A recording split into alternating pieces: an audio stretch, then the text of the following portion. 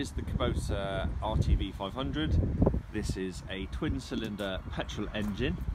It has variable hydro transmission which gives you fantastic hill descent and climbing control. This machine is two wheel drive and four wheel drive. Uh, it comes with a tipping cargo bed that can carry 430 kilo. There's also tow in a further uh, 500 kilo uh, if needed. This is a very simple design uh, with levers for two-wheel drive and four-wheel drive, high box, low box and reverse, and also a diff lock lever.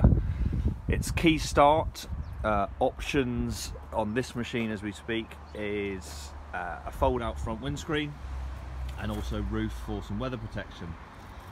The tyres are standard are grass stroke tarmac tyres uh, but can have off-road tyres.